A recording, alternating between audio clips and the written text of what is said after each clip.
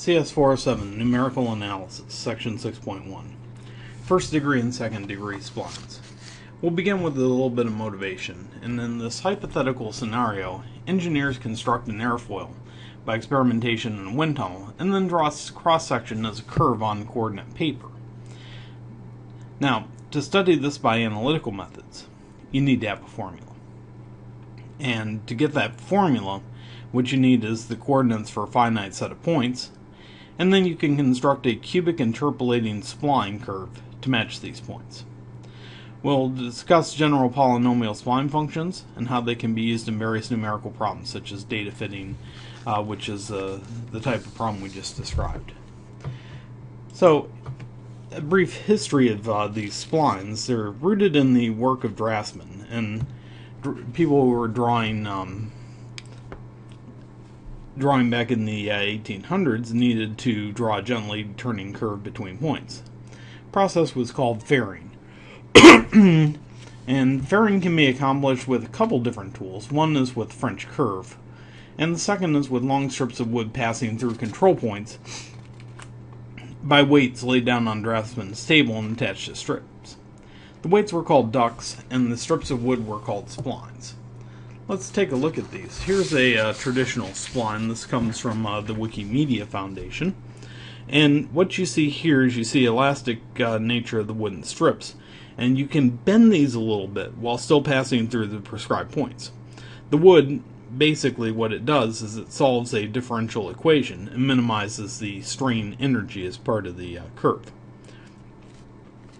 So this is a simple function of curvature, and the mathematical theory of these curves owes much to early investigators, uh, particularly Schoenberg in the 1940s and 50s. The other tool for this are the uh, French curves. Uh, and again, these come from your uh, mostly correct but occasionally drunk friends over at Wikimedia. Uh, this set of three is the most common set. Um, these are known as the Burmester set. Now, the uh, one on the far left is most commonly used for hyper, uh, hyperbolas. Uh, the smaller one on the right is used for ellipses, and the large one is used mostly for parabolas. By the way, the first book giving a systemic exposition on spline theory wasn't published until 1967. So, the mathematics of this are relatively new, despite splines being in common use during the 19th century. So, a spline function is a function that consists of polynomial pieces joined together with a certain smoothness conditions.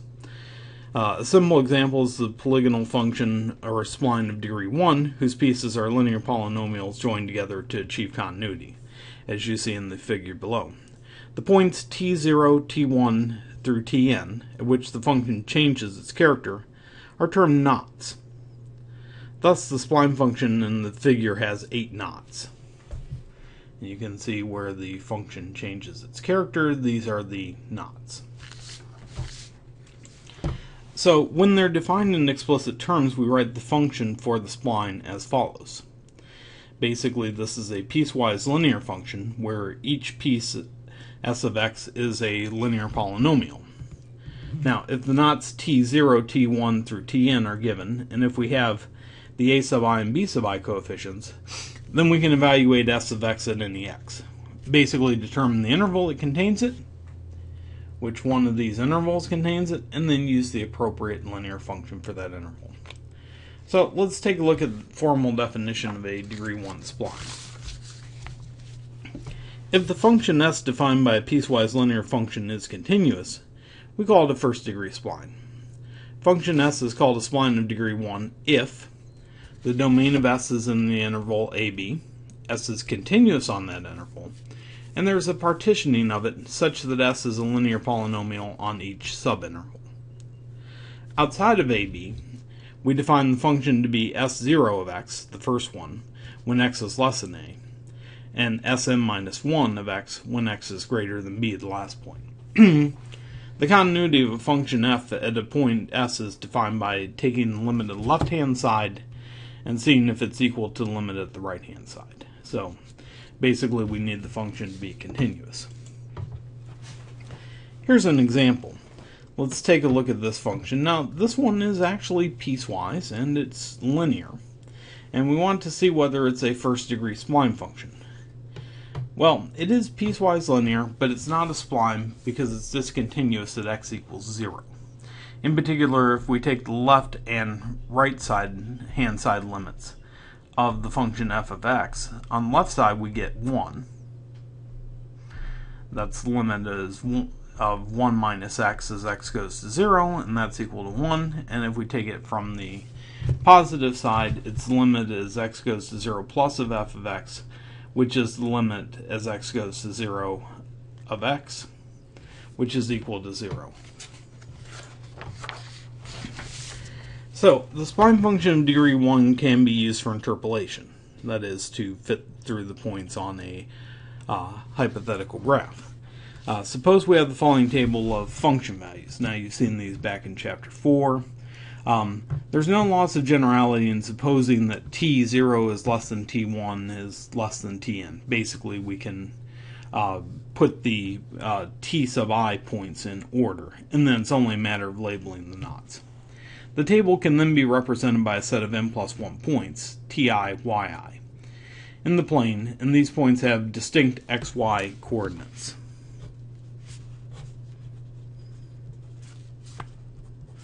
we can draw a, poly, a polygonal line through the, all the points without drawing a vertical segment, because again, those are not equal.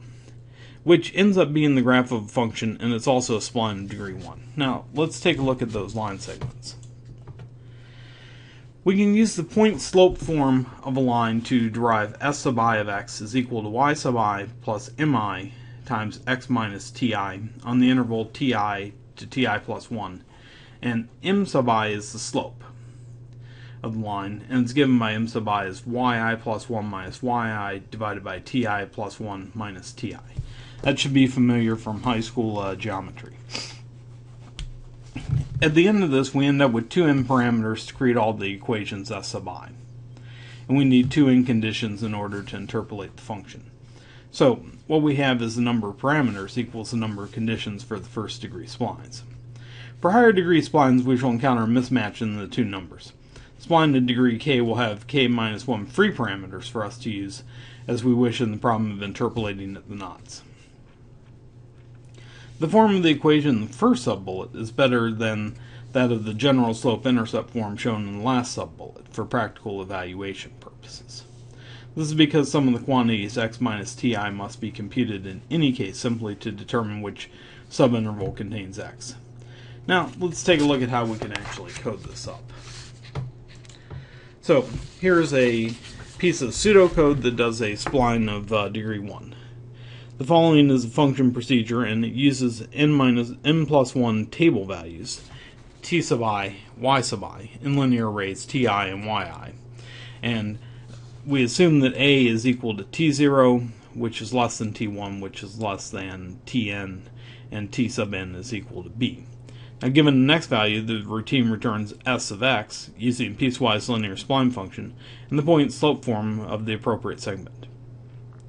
As before, we use the first segment if x is less than t sub 0 and last segment if x is greater than t sub n. To assess the goodness of fit, when we interpolate a function with first degree spline, it's useful to have something called the modulus of continuity of a function f. Now, suppose f is defined on the interval ab. The modulus of continuity of f is omega f semicolon h, which is the supremum of fu minus fv, where uh, u and v lie between a and b, and u is less than v, and the absolute value of u minus v is less than h. Now, the supremum is the least upper bound of a given set of real numbers. And the quantity omega f h measures how much f can change over a small interval with h. If f is continuous on AB, then it's uniformly continuous, and omega fh will tend to 0 as h tends to 0. If f is not continuous, omega fh will not tend towards 0. So if f is differentiable on AB, in addition to being continuous on AB, and if f prime is bounded on AB, then we can use the mean value theorem to get an estimate of the modulus of continuity. see two theorems that relate to the accuracy of first degree polynomials and splines. These are the uh, two accuracy theorems, and theorem one is the first degree polynomial accuracy theorem. From this basic result, one can easily prove the following one simply by applying the basic inequality on each subinterval. The first theorem tells us that if more knots are inserted in a way that will that the maximum spacing of h goes to zero, then the corresponding first degree spline will converge uniformly to f. Now that's a good result. Recall that this type of result is conspicuously lacking in polynomial interpolation, where the degree of the polynomial gets higher and higher and we get more fluctuations. In the case of polynomial interpolation, raising the degree and making the nodes fill up on the interval will not necessarily ensure that convergence takes place for an arbitrary continuous function. Now let's take a look at second degree splines. Splines of degree higher than 1 are a bit more complicated and we're now going to take a look at quadratic splines. So we'll use letter q to remind ourselves that we're considering piecewise quadratic functions. Function q is a second degree quadratic spline if it has the following properties. The domain of q is an interval, ab. q and q prime are continuous on this interval ab. And there are points t sub i called knots, such that a is equal to t0 which is less than t1 less than t2 all the way to tn, and tn is equal to b, and q is a polynomial of degree at most 2 on each subinterval. In brief, a quadratic spline is a continuously differentiable piecewise quadratic function, where quadratic includes all linear combinations of the basic monomial functions up to 2, in other words 1, x, and x squared. Let's take a look at an example. Okay, so is the following a quadratic spline? Well, we see that those functions are no higher than um, quadratic, but what we need to do is we need to check the continuity, and basically we'll need the right and left limits of the functions and their derivatives. So, what we can do is we can determine whether q and q prime are continuous at the interior knots, which are those um, four different limits there. We match up Q uh, at 0, Q at 1, Q prime at 0, and Q prime at 1. And the left and right limits match up here, so Q of x is a quadratic spline.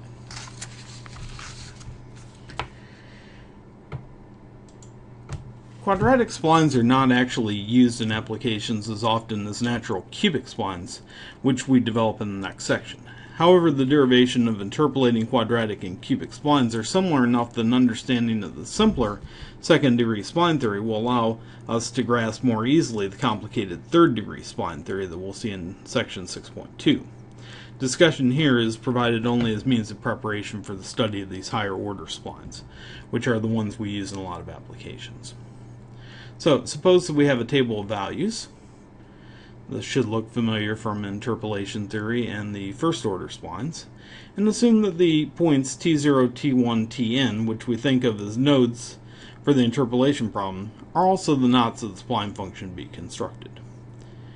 Later, we'll do another quadratic spline interpolant, in which the nodes for interpolation are different from the knots. Quadratic spline consists of n separate quadratic functions, x, which are quadratic. So you have a sub i x squared plus b i x plus c sub i. One for each subinterval created by the n plus 1 knot. So we actually have three n coefficients here. On each one of the intervals, ti, t, ti plus 1, the quadratic spline function qi must satisfy the interpolation conditions q sub i ti is equal to y sub i, and qi ti plus 1 is equal to yi plus 1.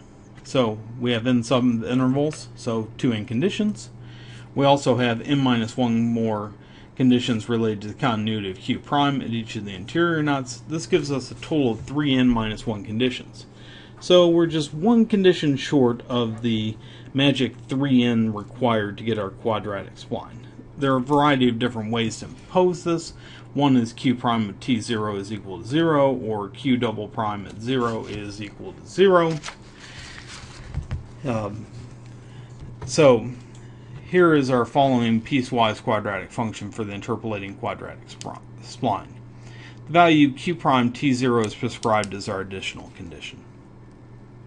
q of x should be continuously differentiable on the entire interval. Interpolate the table so q of ti is equal to yi for i between 0 and n. Now, since q prime is continuous, we can put z sub i is equal to q prime ti. We'll eventually need to find the correct values for these z sub i, but we can give the general formula for q sub i at this point. Now, q sub i ti is equal to yi. Basically, at each one of the um, nodes it captures the value perfectly. q prime of t sub i is equal to zi, and q prime qi prime ti plus 1 is equal to zi plus 1. These three conditions define q sub i uniquely on ti, ti plus 1.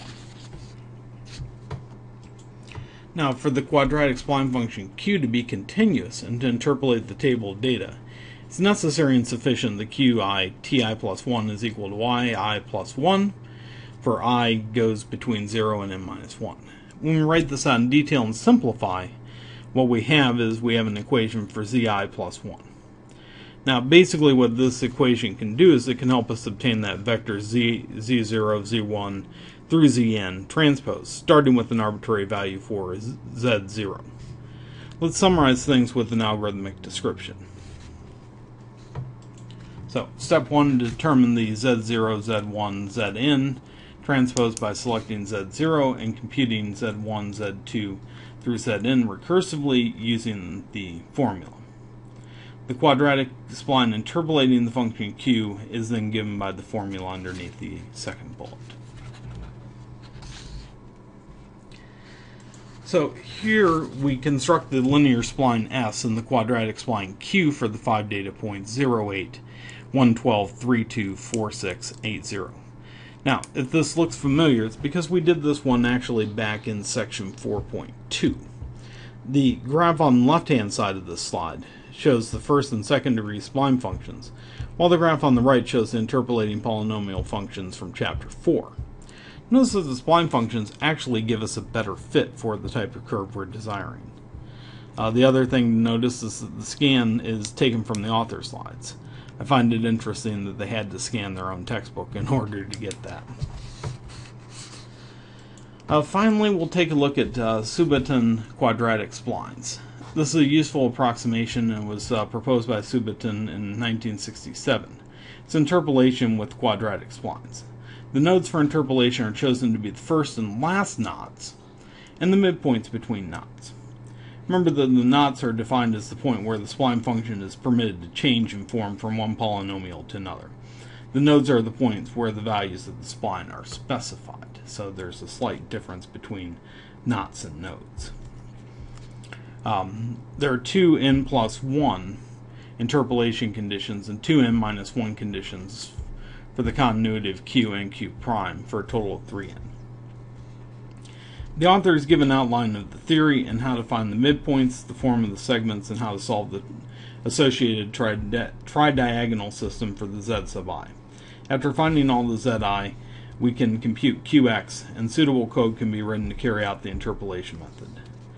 The entire process is summarized quite nicely in one rather large bullet on page 261. Next time we'll look at natural cubic splines.